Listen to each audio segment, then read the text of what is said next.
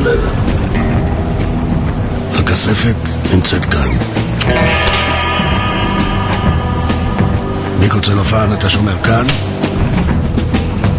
והרזה, אתה נכנס מכאן.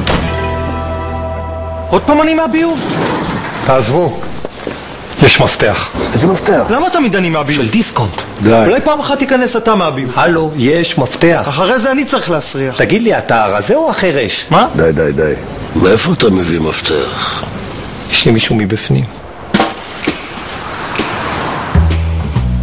בוא תגיד, זה לא הבן אדם הזה מה... בלי שמות. כתוב זה. בלי שמות. הבאת את המפתח? של איזה סניף זה? לא משנה, זה גם טוב לתחנות דלק, רשתות שיווק, כספומטים.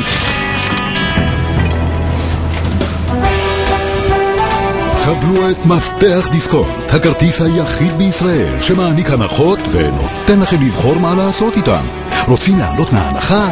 אין בעיה. רוצים לחסוך אותה בתוכנית חיסכון בריבית מצוינת? אין שום בעיה. המפתח כבר אצלכם, רק תבחרו.